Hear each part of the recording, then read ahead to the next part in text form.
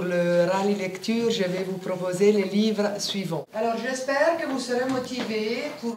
T'as quoi? J'ai besoin d'aller aux toilettes. Bah lève la main, il va demander à la maîtresse. Le premier livre, c'est Harry Potter. Merci Candice. Et qui va lire Le Petit Prince maintenant? Encore toi Candice? C'est qui qui va lire Le Petit Poussin maintenant? Encore toi Candice Mais bravo Et qui va lire Blanche-Neige? Mais c'est très bien Candice, encore toi, bravo Le livre suivant est Les Trois Mousquetaires. Bravo Candice Alors tu prends tous les livres. S'il vous plaît maintenant. Je constate que dans cette classe, il n'y a que Candice qui va lire les cinq livres cette- ce week-end. Bravo Candice. C'était au milieu de l'hiver et les flocons de neige tombaient comme des plumes. Une reine était assise près de ça. Il y avait bien longtemps que Harry n'avait pas passé une matinée aussi agréable. Il prenait précaution de se tenir. D'Artagnan raconte à sa, qu'à sa première visite à Monsieur de C'était une fois un bûcheron et une bûcheronne qui avaient sept enfants, tous des garçons. L'aîné n'avait que dix ans et le plus jeune n'avait que sept très sérieuse.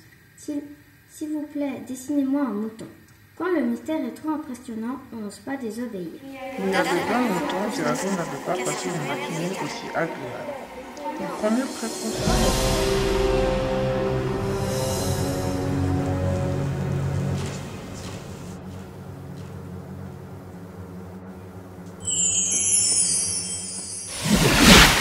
Pour tous, tous pour un Vous cherchez quelque chose, jeune fille?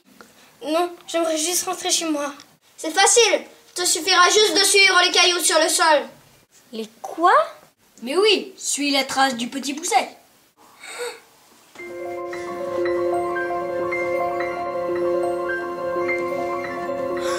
S'il te plaît, dessine-moi un mouton. Mais je sais pas dessiner. Est-ce que tu veux que je t'apprenne une formule magique? Harry Potter. Est-ce que tu sais dessiner des moutons?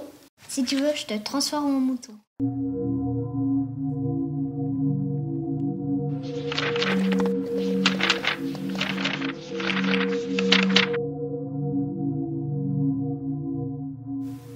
C'était qu'un mauvais rêve.